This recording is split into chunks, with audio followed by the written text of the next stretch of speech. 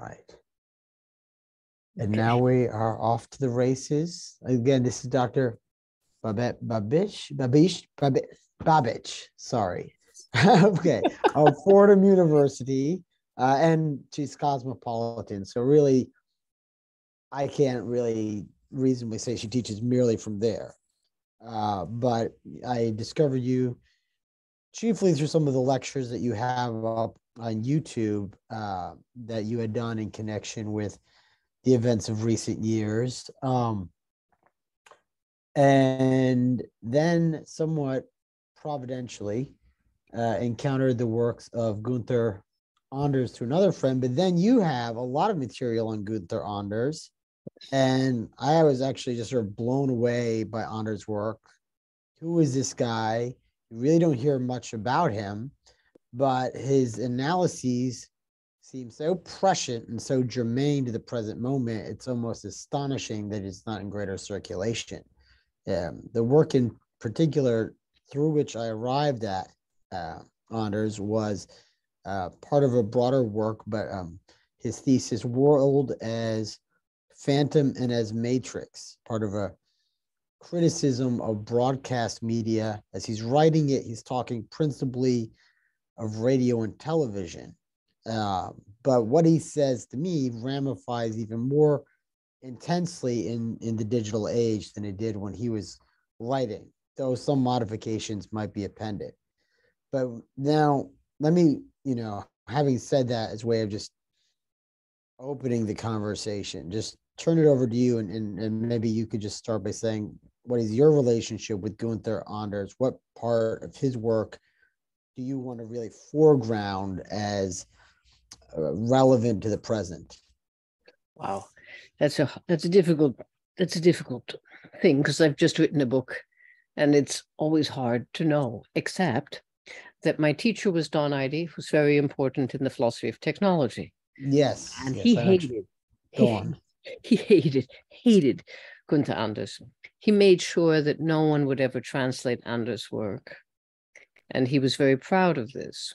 And it's not an accident because one of the things that you'll see for anyone who does philosophy of technology, I mean, I've noticed some of your some of your uh, YouTube videos, you will talk about the machine, which is a wonderful kind of beginning point that you have, and you say it, you've said it more than once uh, uh with with reference to the machine. And when I teach philosophy of technology, I always remind my students that you can't hack anything. You can only do it the way it lets you do it. There's no there's there's no workaround. The workaround is just bringing yourself around to the way it wants you to do it, and there really is no other way what Ihde stressed and what all philosophers after Ihde stress is that you have to work with technology, with corporations, with uh, big pharma, with big tech, with anything in order to have a philosophical point of view on it, meaning that everyone has to be positive. Now, the problem with with with with Gunther Anders here is that he's he's he's almost constitutionally depressive.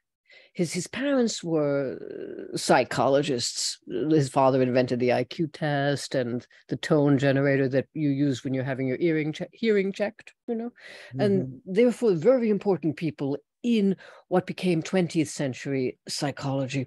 But they also allowed him to have the liberty to be depressed, which is an interesting thing because I think if you're not the child of psychologists. Maybe you worry, perhaps I'm too hyper, or perhaps this other thing is happening, and you psychoanalyze yourself. He never psychoanalyzed himself. It's a very interesting thing because it had been done to him since he was a child and he was bored by it. So he didn't indulge in that. But he was negative, depressive and negative, and constantly, unremittingly on the same point. So when you read Anders, he doesn't just say the thing once. It's bad on the way we are dependent on machines, or there are problems with the bomb, or there are problems with our desire to be as efficient as our machines.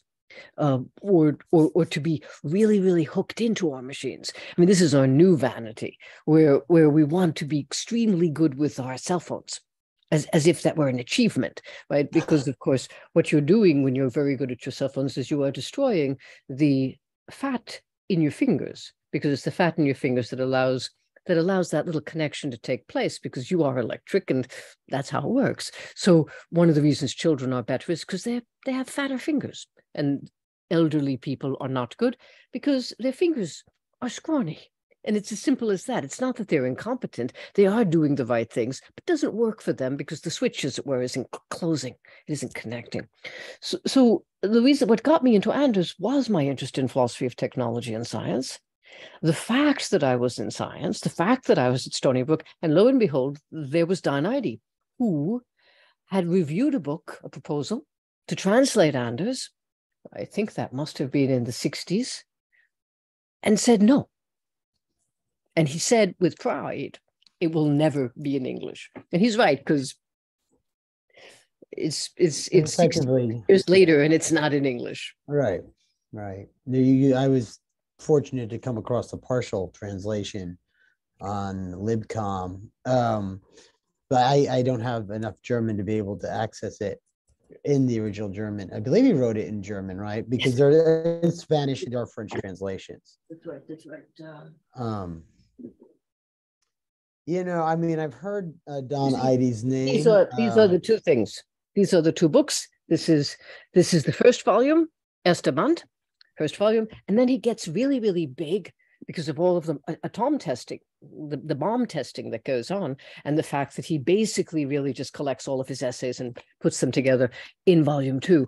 Uh, and he organizes them around the theme of, and that one is available in a version of English which was translated from the Spanish. So it's kind of awful, but kind of great because you can you can read it. Yeah, it's a way in. It's a way in. So um so I guess yeah, no, actually, I'm kind of surprised. Like I've heard Don Ihde's name. I can't say I'm very familiar with his specific takes uh, or uh, technological positions, as it were. Uh, I'm very hostile, uh, as you know, you've already gathered, to the contemporary technological milieu.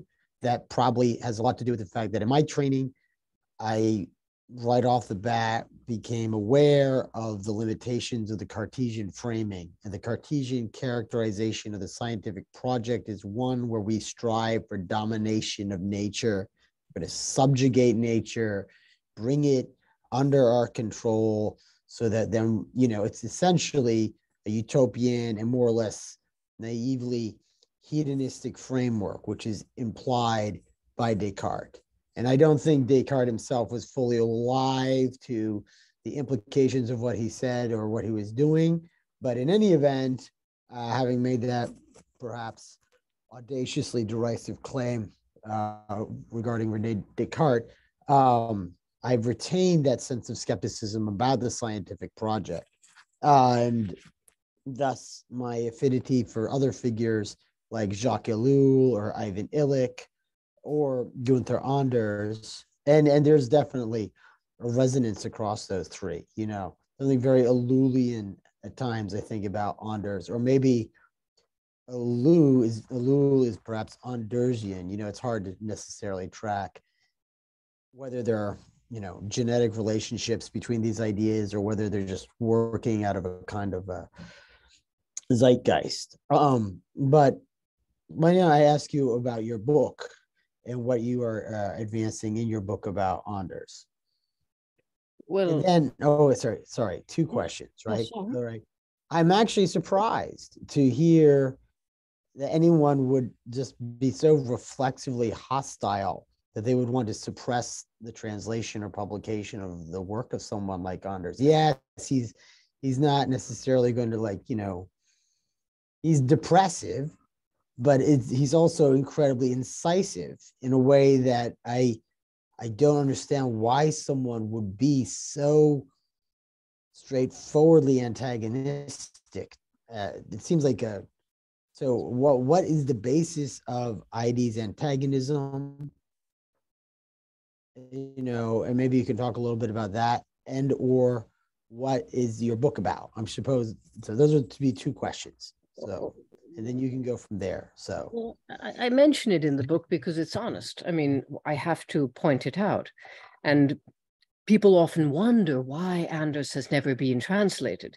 And it's not an accident because there's peer review, and Ihde was certainly a peer. So that would have happened. Ihde was about 10 years, he's still alive, 10 years younger uh, than, than Anders. And so that that's a peer.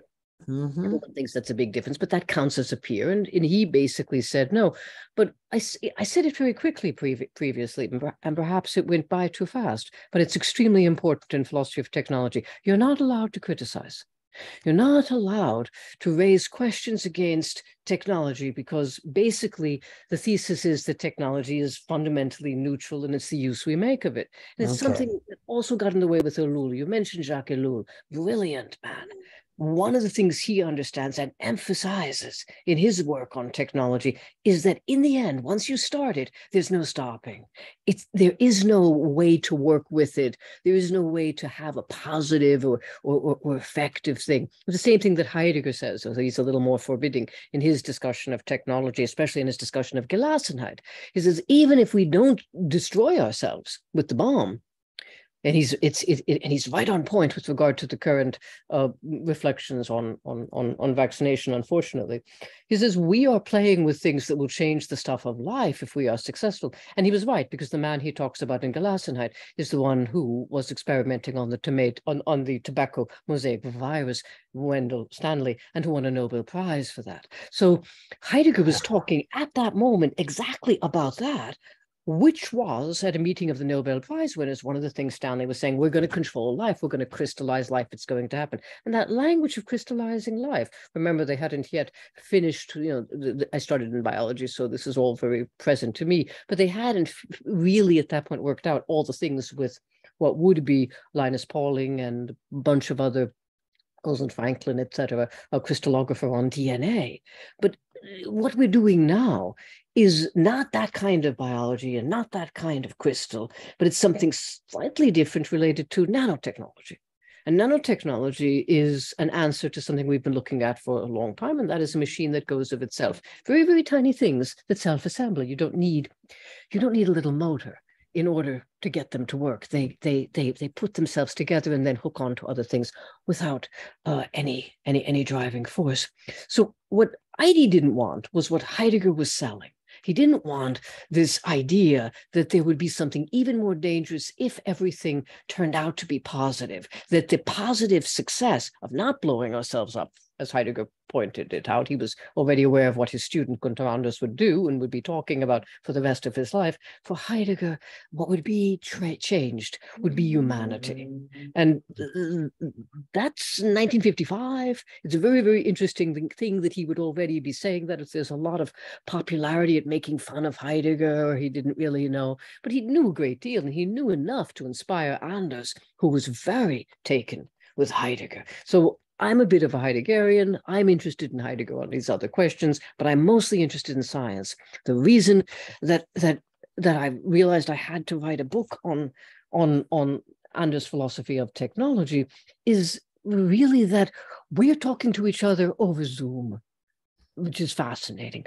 But Anders first writes, as many of these thinkers first write, in the wake of the most important revolution of the time, and that was broadcast radio. And therefore, everything changed. He was a musician. And so it was intriguing to him is, and a guy no one can read, Theodor Adorno, he just insults everyone. It's very awful. But but but but he was a composer as well, is also preoccupied with what happens to music when you record it. Or, or yeah, Walter Benjamin as well, right? You know. Yes. all right. I mean, though he doesn't, I think, talk so much about music, but you know, the reproduction. Yes. Well, he talked very little about it, but but there was the same point, and Adorno went on and on and on about the reproduction, because of course, as any musician will tell you, you really want to have the live music, and now we don't mind musicians these days don't mind so much because they think, well, maybe we could sell NFTs or tokens of our stuff, and then people, you know, and our stock would go up and everything would be great. But no one would ever hear us actually play in person. But there's a tremendous difference between the sound. These are headphones and strings that are attached to headphones. And I have other headphones. I have, I have, because I have a Razer, I have a Kraken headphone which is a terrible thing. Now, I have all the equipment you could possibly want. But what happens when you have that kind of technology, and there's a beautiful essay uh, on this, which I cite in the Hallelujah Effect, which is a different book, uh, but which points out that we, if you give us the right kind of technology, the right kind of screen, the right kind of headphones, something in our ears, something maybe conducting into our skull, so that like the Skullcandy, which is very popular, then we won't care that the fidelity is is is is, is terrible, that the fidelity rots, that you actually have no true to the sound reproduction whatsoever. And we can engineer the sound so that you feel as if you're listening to Michael Jackson or that you're or as, or as if you're listening to Lady Gaga, or if you're listening to anybody that you like. But it will be at lower level, but you won't mind because it will be you'll be that close. It will be it's a matter of having the if you like the the peanut gallery seats uh, in terms of the quality of sound, but you're up close and center. So you have, and that's the same thing also for your visual perception, for the pixels that we no longer pay any attention to. So we don't have the quality of film any longer. We don't have the quality of, of, of, of, what used to be possible for film, but, it, but we have things that we take for granted, kind of like the fuzziness of them. I love your background. You know, I've, I've, I've chosen blur. I used to have all kinds of, you know, graphics behind me, and I went for that because we actually like the defect. There's, there's a sense in which that appeals to us. So, well, I mean, there you're talking about how, in a sense, you don't want the film or whatever the artifact in question is, you don't want simple mimesis, right? You want the whatever is presencing itself to you to be presencing yourself to you as what it is, not as what it is qua representation right? And with the film, like actual film, there's a kind of I don't know whether there's a kind of shimmering quality to it, which on one level might say gives the lie, but in fact it's paradoxically more honest because it's telling you what what is it that you're engaging. When you have an absolute perfect simulation, there's something eerie about that. It's almost like announcing a failure. Um, with a with a kind of savage pride. Um, but um, anyway, I don't mean to interrupt you. So it, it anesthetizes us. We love it. We love the sound. Uh, one of the thing, first things that happened with the Walkman, and Neil Postman analyzes this. He's he's he's he's correct about that in his Technopoly. Uh, and many and and and Marcuse analyzes it.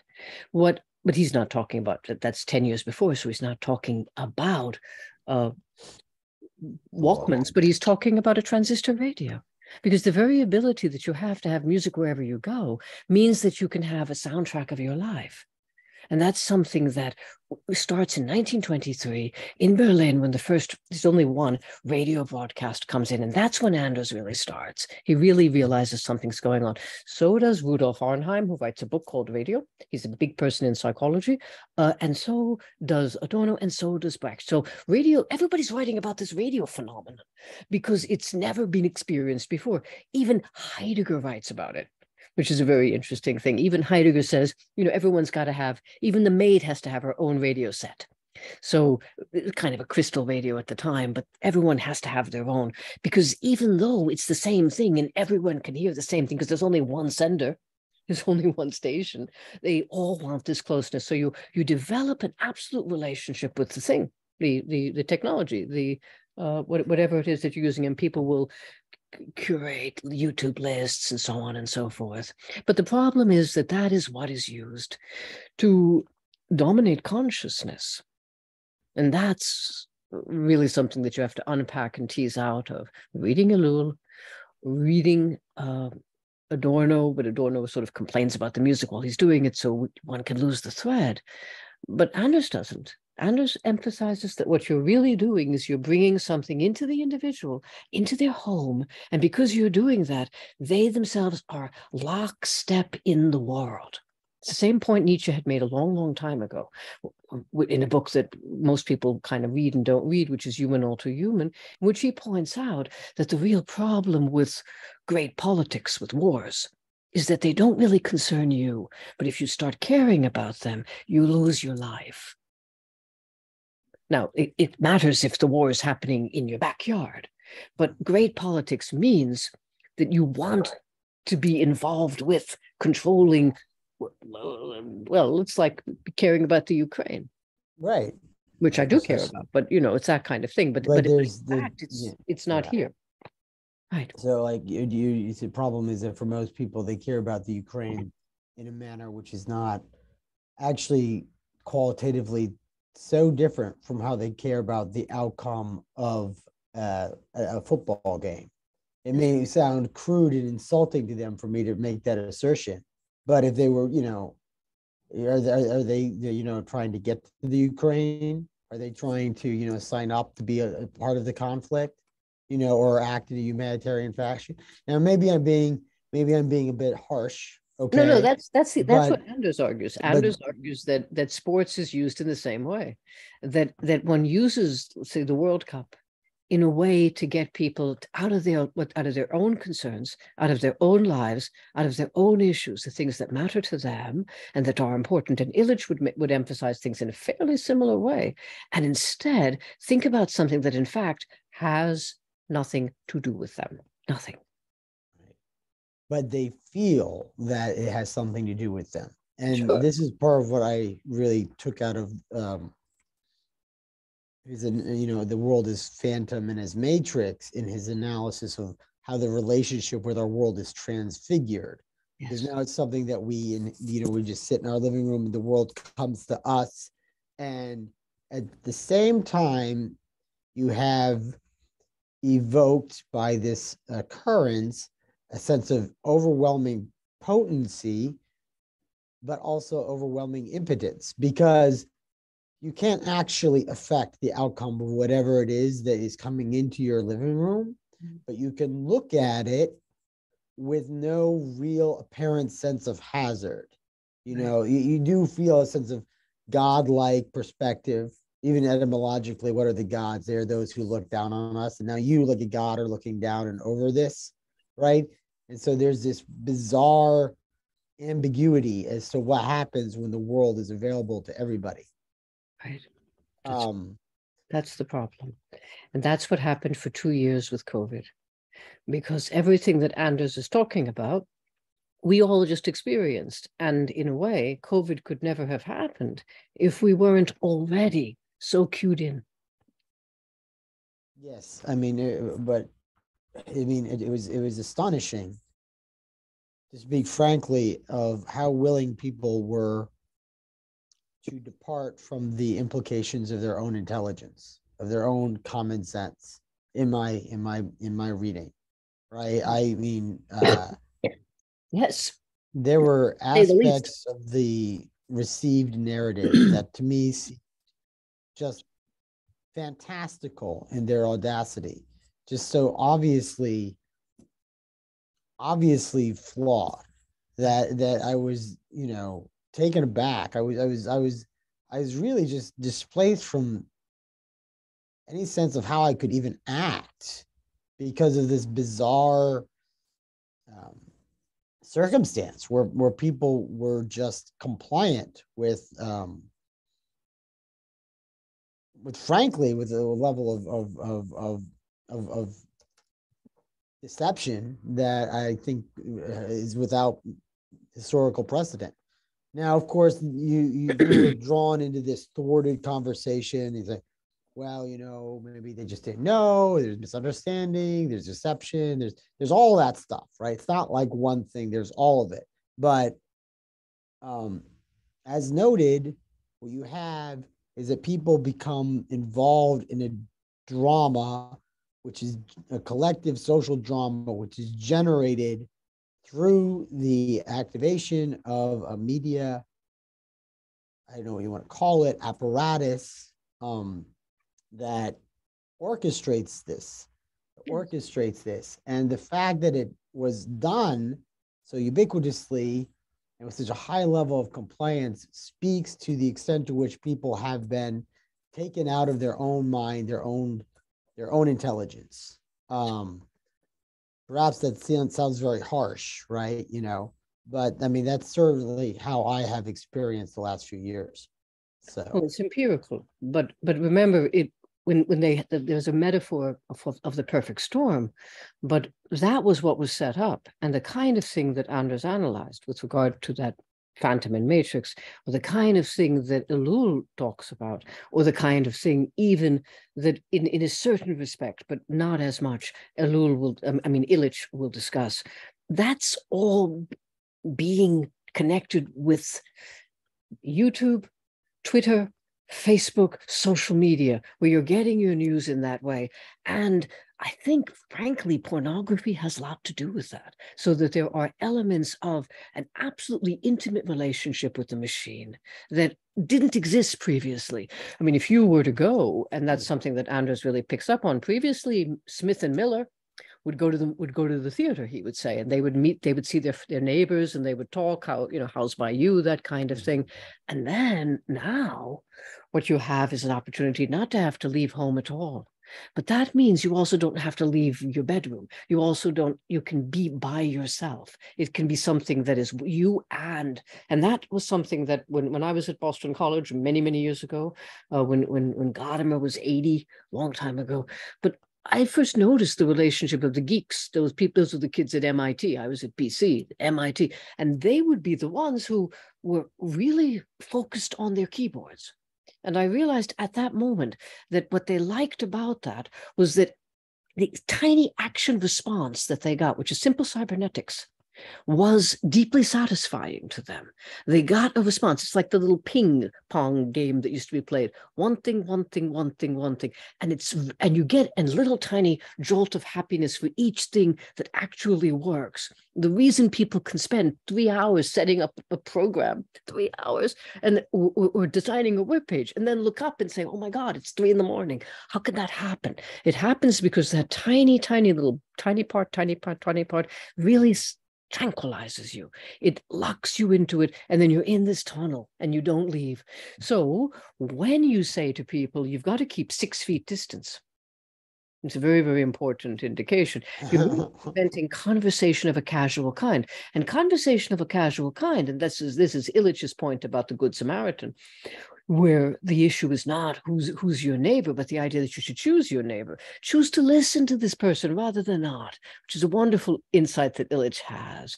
Uh, because we don't usually do that. We just generalize. We should be nice to everybody, rather than the schmuck we, we we just stepped over. You know, not that one. And he's like, choose that one, make that one the choice. But in this particular case, a person you didn't expect to say anything to you could say, "Is this is a this is a you know, this is a load of whatever. And, and you just hear that, and instantly you would realize, you know, then this is silly. This is how the emperor has no clothes inside of the little kid who says that how it works. He's got to be close enough, he's tiny, to people that they can hear him when he says he's naked. Otherwise, you can't hear him. Six feet is all you need to make sure that the average person cannot hear you, cannot hear you especially as our ears and our hearing, no matter what age we are, is systematically destroyed by the fact that we put headphones in our ears, which destroys our hearing, of course. Because there are these little hairs which kind of lie down and die after a while. Is they're you also you your remark make puts me in mind of like the notion of friendship as conspiracy. Yes. And, uh, with distance, even that physical distance, you're yeah. undermining the capacity of that mm. conspiracy of friendship, which is so antithetical to the integrity of the system, right?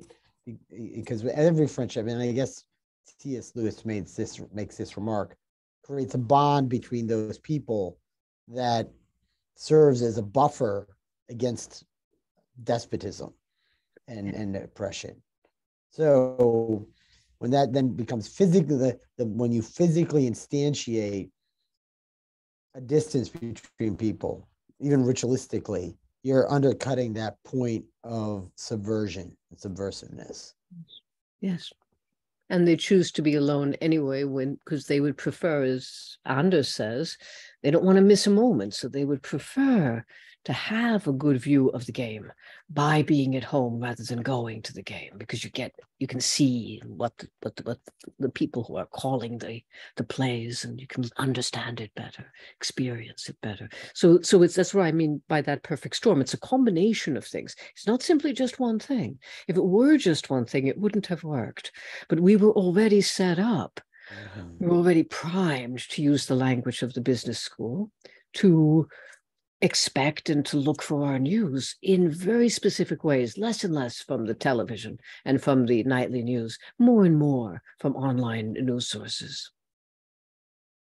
Now, so perhaps you could, well, we've already sort of touched a lot of ground here. Sorry. Um, yes. No, no, I just. it's all knotted together, and you raised such an interesting question.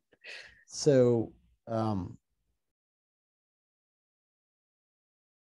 So it strikes me toward the end, as I recall, of um, you talk about how he's sort of, you know, a, rather depressive person to read.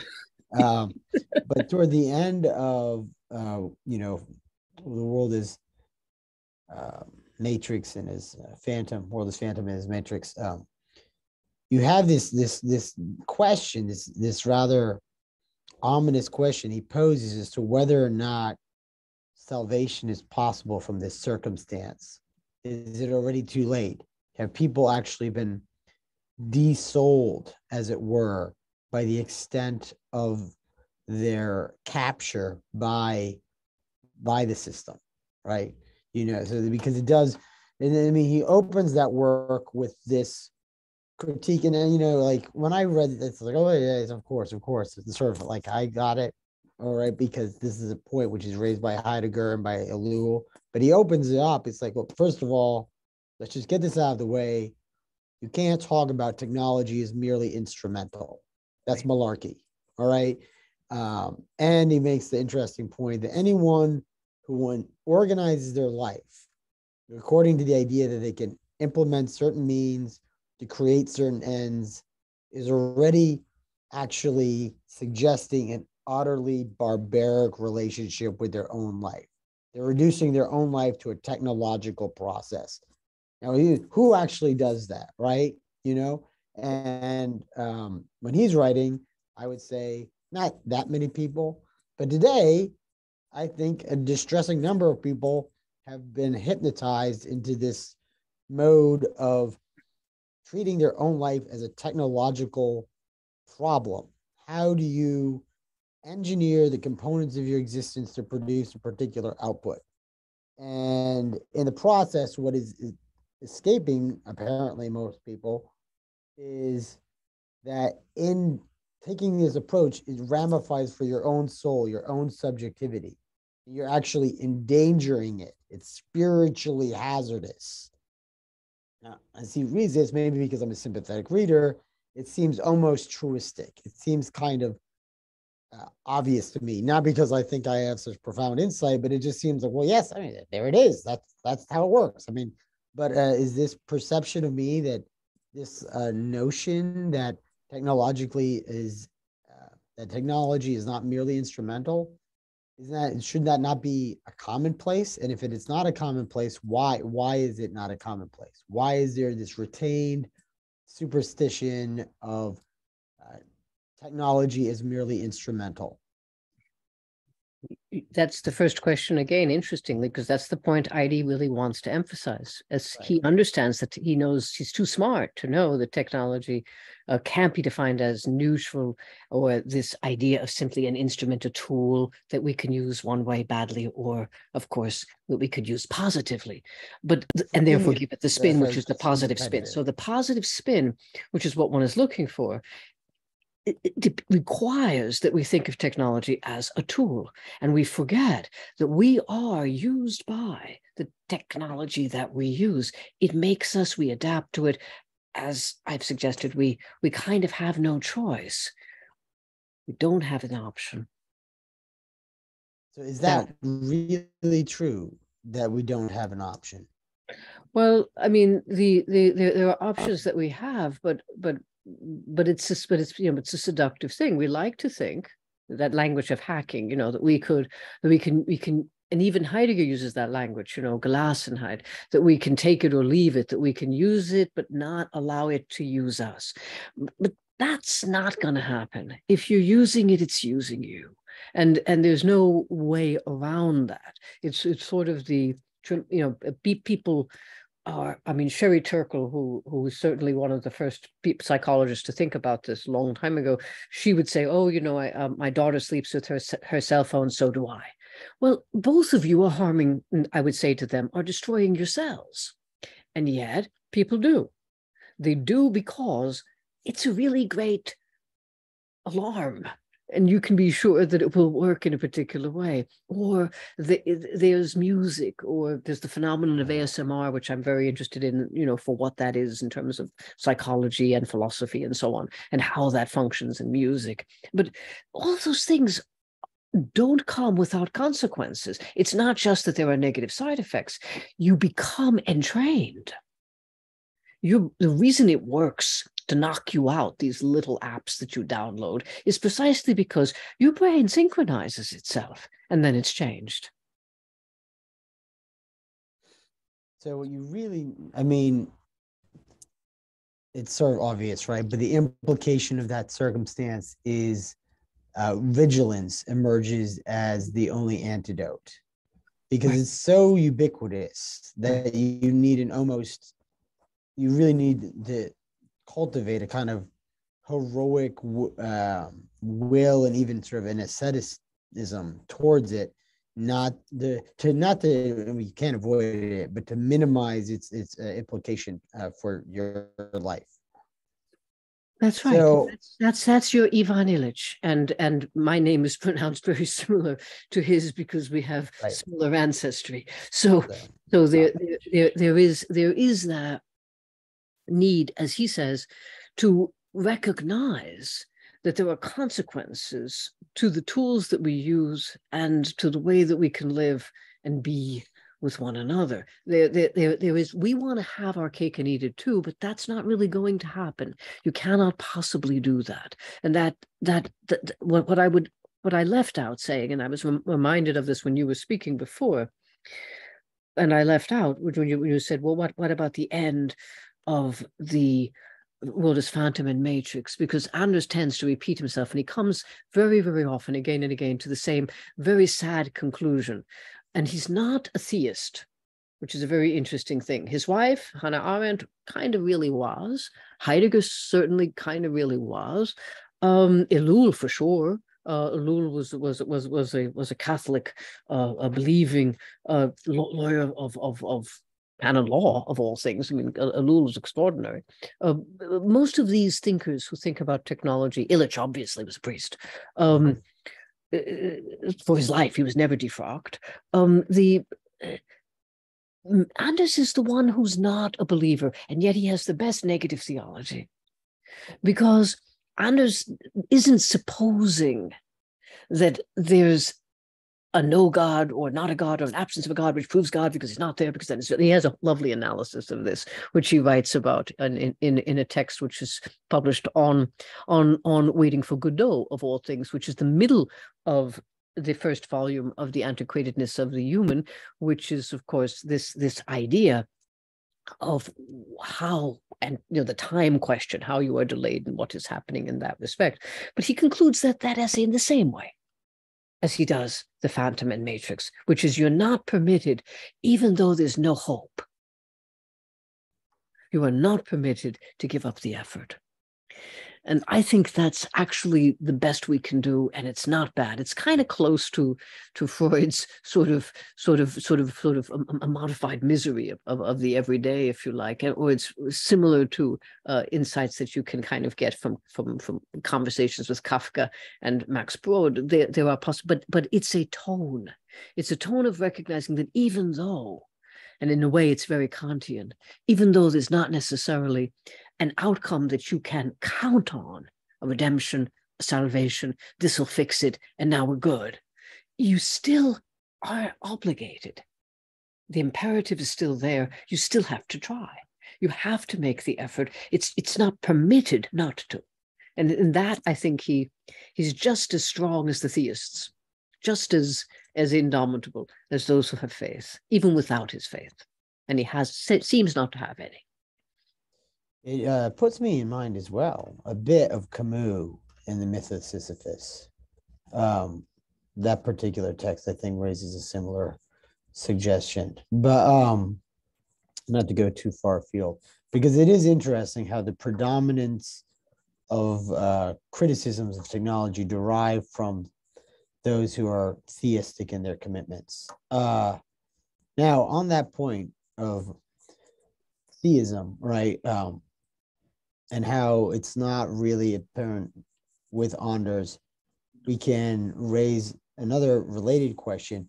That is the question of uh, good and evil, or if you prefer, I actually prefer the question of the angelic and the demonic in, in, in this world, where you have this situation, which frankly is somewhat barren. And you can almost think of uh, Thomas Hardy's uh, poem Hap here, um, where you could say, well, it's just a bad scene. But then, is it really just a bad scene? Is it just the outcome of so many stochastic processes, or this is just like a, a bad iteration of Democritus' vision? Or is there, in fact, something like active malignancy set up against active benevolence? Uh, you know, um, is value part of the world in a deep, sort of ontologically undeniable fashion without appeal to a deity? And is this is and if so, is that what compels us to persist in a struggle, even if we are condemned to, to fall when Ragnarok comes upon us or what have you? If if if that works for the individual, I think that's certainly to be recommended. I, I think I think that Anders is slightly I mean, he's everyone always talks about Anders in terms of his relationships, you know, his ex-wife or his cousin, Walter Benjamin, we mentioned already, Benjamin. And I think there's a Benjaminian sort of complicated relationship because there is an an a kind of very advanced theology, which is not making claims about deity. Anytime you are saying things about God, you are of course blaspheming. You are, of course, and the, so there's a very Judaic approach, and Anders is Jewish, and that's part of the the the, the approach that he's bringing. But he's not. But but but but at the very very least, what he's not reducing things to is the and is like Arendt belongs to a, a, a, a and and like Jacob Taubes belongs to a to a to a German tradition of of Jews who are terribly Christianized because of course they are educated in the European university which is which is of course Catholic or Protestant especially German. It's Protestant it's Lutheran powerfully Lutheran Catholic in the case of Ellul in in France. But Ellul doesn't have a problem, but in the case of of of the the the relationship between saying what you know about God, that's what theologians, that's their stock and trade. They're going to tell you how God works. So, one thing would you assert to be, despite the fact that he's not theistic, is the the the position of Anders? Is he is he latently theistic? I think he's latently theistic. I think you I think you've already sensed something quite right there because I think operative in him is, however, a non-knowing. He he's not he's not he's not making that claim or making that statement. And I think that one is in this position in this world, at least that's the statement that as he gets older, the way he writes, it seems to be the case that he leaves open a possibility, but he's not speculating. He's simply saying he's he's moved into the space of, of, of really not knowing and really saying there is no knowledge of that, which is, of course, what Socrates says in the Apology. So it's the most philosophical perspective that we've got on, on an afterlife or on deity or on possibilities after this life, since we are smack in the middle of this life as we speak. Now, let me ask you um, because when I, I, because mostly I just read this one text by him, Yeah. And so most of it has to do with media and so forth, right? Mm, Uh, but his was he was really focused very much on opposition to nuclear weaponry Mhm. and I presume nuclear power as well. yes. But could you talk a little bit about his thought in that connection, which of course is not unrelated to his uh, analyses of media and so forth, but nevertheless has a would gather a certain distinctness. Right. Well, it is different, but but he finds it related to uh, developing technology because in the case of a, of, of a bomb after 1945, uh, in the 10 years following that, uh, in the in- until he 11 years until 1956 when he published his book, what becomes very important for him, and he writes a little poem about a Japanese fisherman who is who's who's, who's who dies as a result of fallout from one of the the, the tests. He says they're not tests because you didn't test it. You actually did it. You don't test. It's it's it's deployed. You have used these bombs again and again and again, but they are developed, as he says, to to not be so dangerous. So the new bombs, and this is exactly where we are today. When Hillary Clinton says, you know, you've got to leave the nuclear option on the table, as if it were like leaving your handbag on the table. Um, the what she's talking about is a tiny bomb, a small bomb, a little bomb, a bomb that is not much of a bomb. But that is exactly what Anders is already writing about. The development that the United States pursues is to make better and better bombs that destroy less and less so that you can use them. And that is for Anders the paradox of technology. The technology moves in this direction. It, it planned obsolescence, all of those other things about which he also writes, and so on. That this is a desire to have something that is just good enough. I mean, we all know this because we have iPhones, you know, and which iPhone, and you think, could I get this one? We could maybe wait until April, you know, that kind of thing. And maybe they'll release, you know, some other benefit that I would that I would really rather have rather than spend all this money on this one. That is is is what Anders was most worried about, because as he said, really what you're doing is you're is you're right back to his negative theology. You are making as your tool of détente, of political negotiation, the use of a, of, of a weapon that you, by definition, cannot use. And that's the real monster behind this question of the Ukraine war.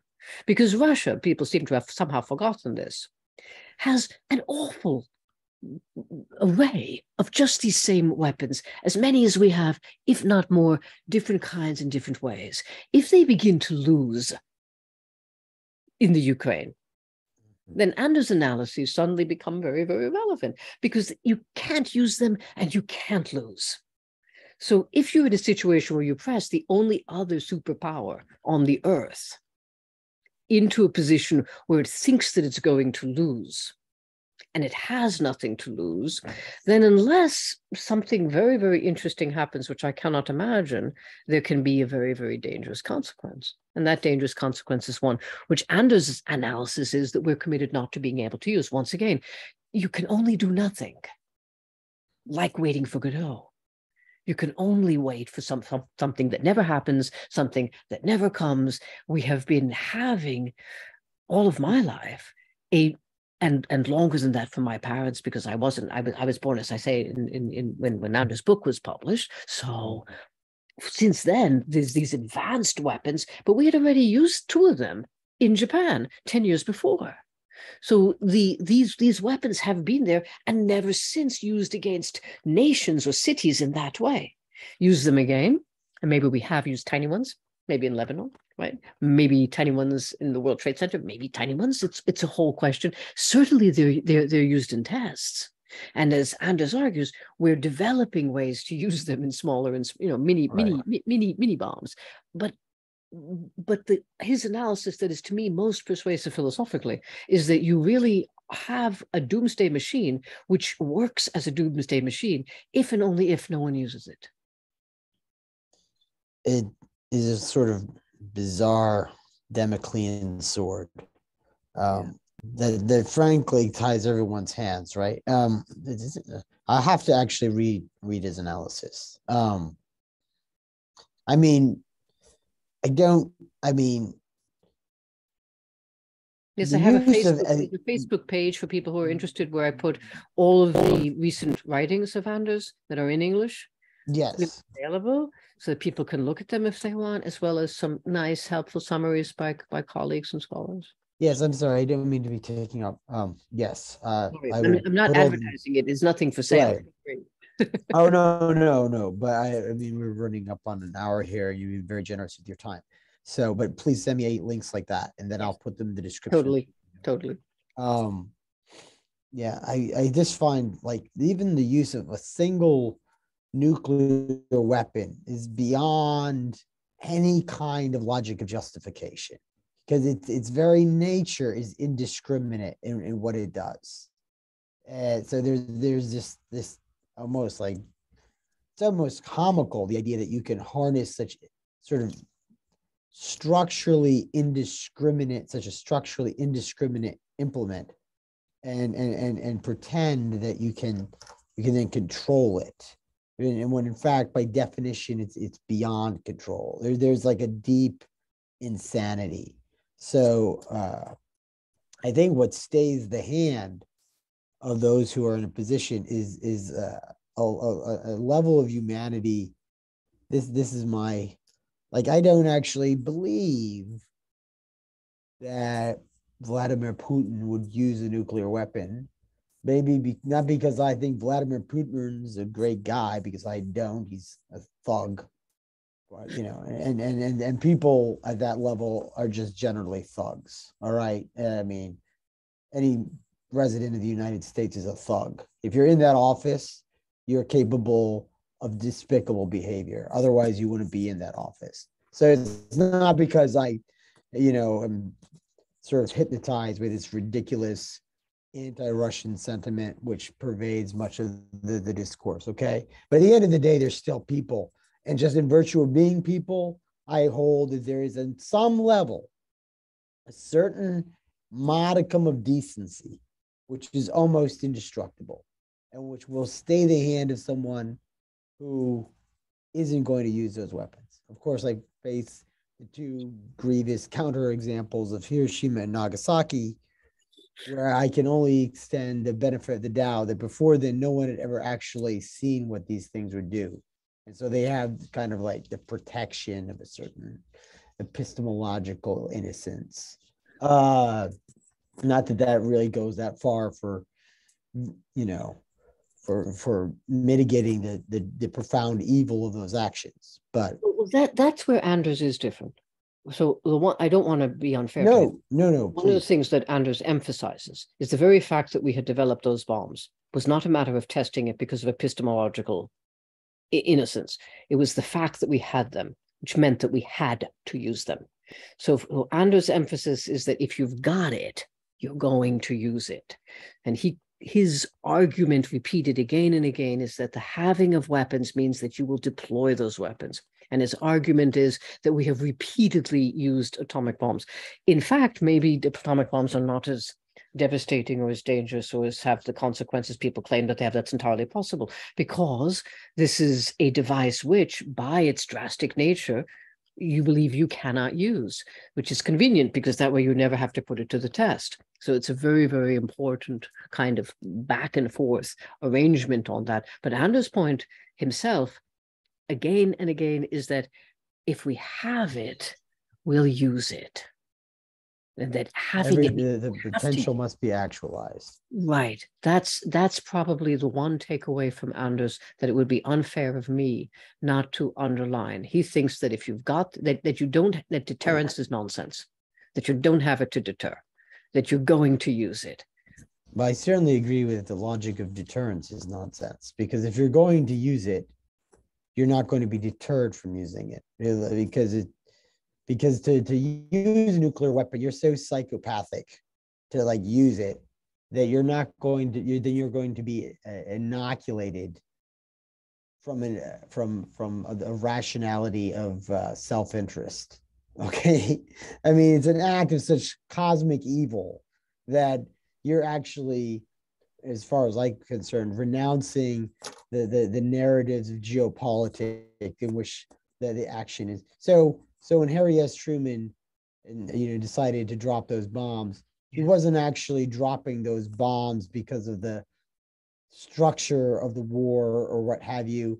He was actually exhibiting a kind of uh, God defying pride by by you know killing hundreds of thousands, millions of people in a blinding instant, right?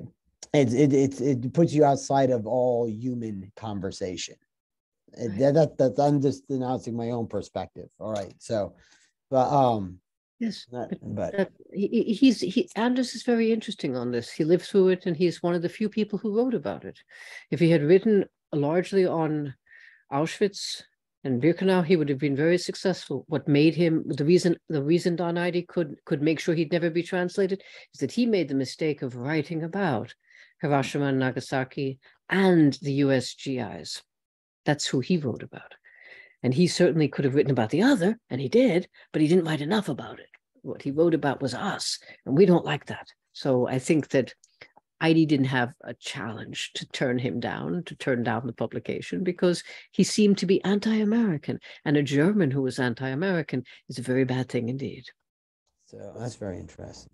So we should probably round it up here because we're okay. pretty much up at an hour. But I don't feel like at any point I gave you the opportunity to really I mean, you've mentioned themes that you discuss in your book, but if you wanted to talk about what is the overall, you know, thesis of the book or what have you, or do you want to say anything about the book or anything else at all before it's you philosophy wrap it up? technology. It's Anders as a philosopher of technologies of of technology and particularly with respect to radio and other things. Anders is very comprehensive. He sees it all related. What we're doing on Zoom, the bomb, all of it for him is fairly connected, as well as our own obsolescence. Mm-hmm. So there are mm-hmm. whole reflections on the human and the idea of a of a of, of a perfecting the human, making the human better, the, the so-called trans, you know, right.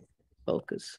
So there's there's no quick quick summary of what's in the book, fifty cents in a box top. Right. No, no. A bunch of chapters, and one of the sad things is you really can't after people have refused to translate, and it's still not in English.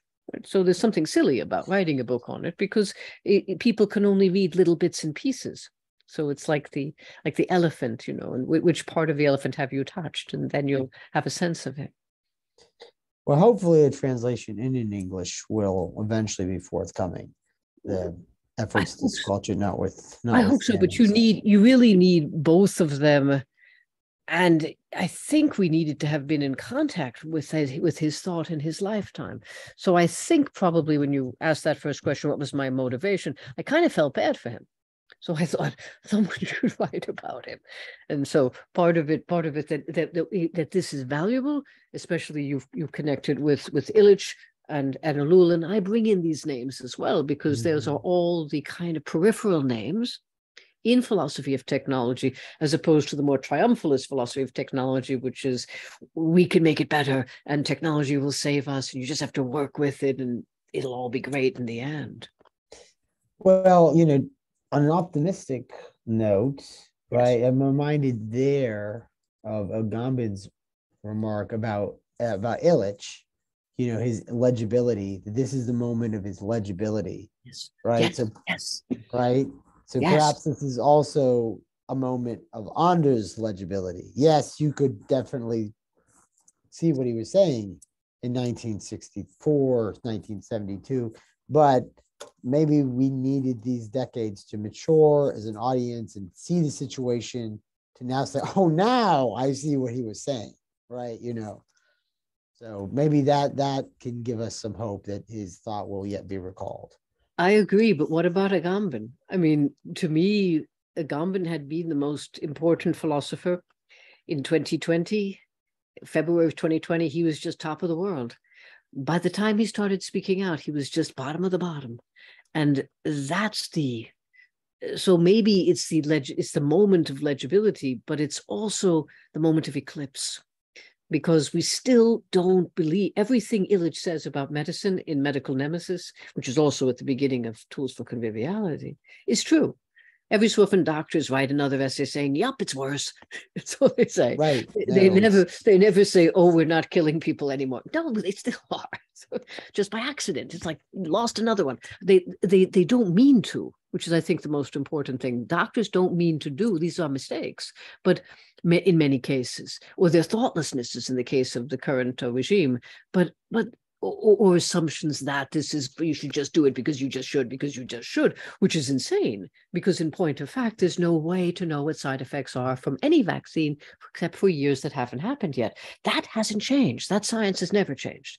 So illich's moment but a moment in the midst of the most incredible blinding with respect to medicine that i think i've ever seen.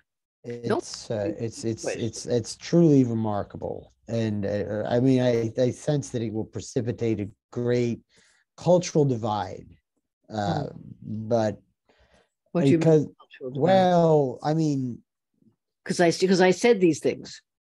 well, uh, I say you know that I have virtually lost all faith in contemporary medicine as just a project that is utterly bankrupt. Not because the people who are situated within it are ill intended, but because they are in the thrall of ideological presuppositions which interfere with real healing. yes yes And so the iatrogenesis of the medical complex isn't just the clinical iatrogenesis that comes about uh, from mistakes or misunderstandings. It's the deeper cultural iatrogenesis, the medicalization of the human body, the this you know the the, the the alienation of our own health from our own subject. These are the deeper, more problematic harms that cascade forth out of you know the medical system that makes it really a nemesis to actual health and actual you know, good medicine uh but but, but also a theme because i agree sorry. with that completely um, but I've also encountered is that there are presuppositions to the models that they, of, upon which they're operating, which need to be questioned, even on very basic grounds. The whole, you know, this is this is not a very YouTube friendly conversation now, okay? But um, well, I often think of the phlogiston. just song, ivan right? illich the the the, the, the legend the the uh the legacy of the phlogiston that's what i tell people i ask people you know what the what are you familiar with the phlogiston most people haven't heard of the phlogiston right in the mid 19th century the phlogiston was considered a reasonable idea as to why combustion happens they figured out why combustion happens they realize that the concept of the phlogiston should be abandoned no one really worries about the phlogiston anymore well there's a concept operating in pathology which seems upon scrutiny to deserve a fate similar to that of the phlogiston. To invoke that concept critically is to invite quick and violent censure, not just by uh, official means, but also just by means of becoming kind of social pariah. And so this actually circles back to like what I mean by a cultural divide. There will be people who will say we just have to let this whole way of approaching healing, death, and disease go. And then there are people who will want to retain it. It's very hard to sort of walk the, you know, be, you know, but you can't throw the baby out with the bathwater. I'm not saying that everything is bad, but you have to. Well, that actually then comes back to the whole question of a relationship with technology, right? You know, and the soul know, in for the penny, in for the pound.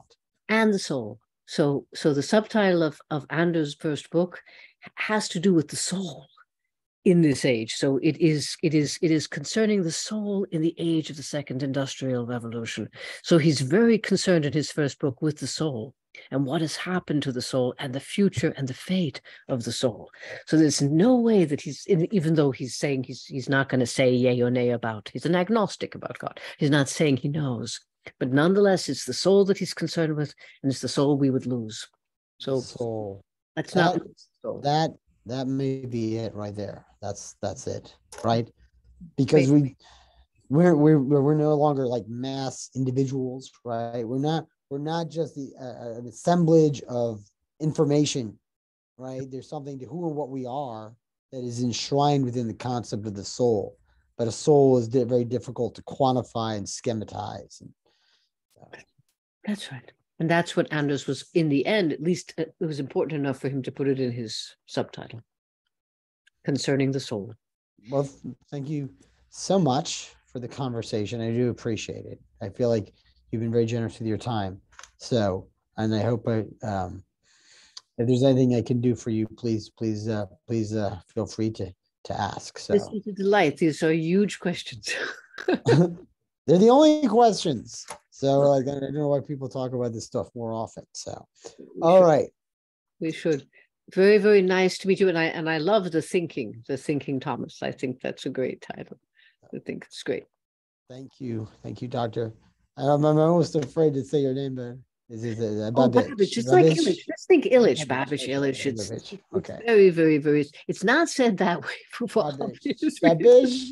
I know, sorry, I'm just gonna stop. All right. I mean, I, grew- I, I grew up in New York. Thank you, Babette. All right. Anyway, you have a lovely evening. Bye bye. Bye-bye. Bye. Bye.